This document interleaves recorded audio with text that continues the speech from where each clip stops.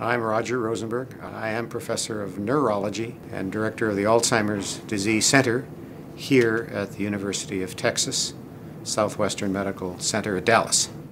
I think the most important question before all of medicine and science in the 21st century is how does the brain work? How does the brain solve problems of thinking? The main function of our brain is to store and retrieve information. And uh, there must be a series of very complex mathematical codes, equations that the brain has to solve for us to think. So we just see the top surface of what goes on. We see, we're able to hear and move, have emotion and think.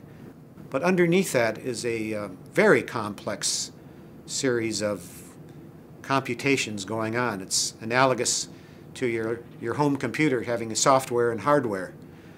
Uh, you see the picture on the screen, but there's a lot of problem solving going on behind the picture on the screen. So too in our brain. And then we have the aging process superimposed on the normal function of the brain. And the aging process now becomes a fertile ground, a permissive environment for the opportunistic pathology of Alzheimer's disease to take root. The seriousness of Alzheimer's disease in Texas is, uh, has been estimated to affect now approximately 250,000 citizens. And that number will double in the next 20 years.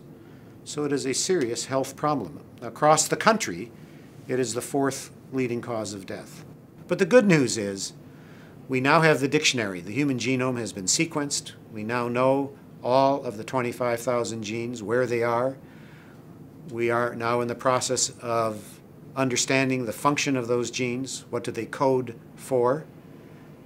We're beginning to identify alteration in genes for aging. And as I said, we are beginning to identify the genes and their variation that cause Alzheimer's disease. So I would be very optimistic that we will find effective therapy for Alzheimer's disease despite the great complexity that the brain poses for us.